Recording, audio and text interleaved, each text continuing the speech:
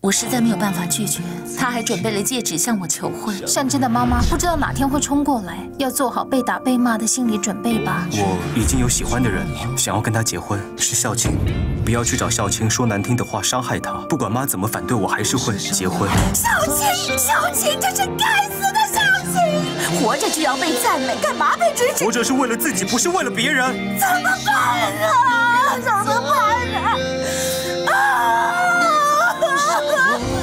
东森戏剧台《白夜童话》。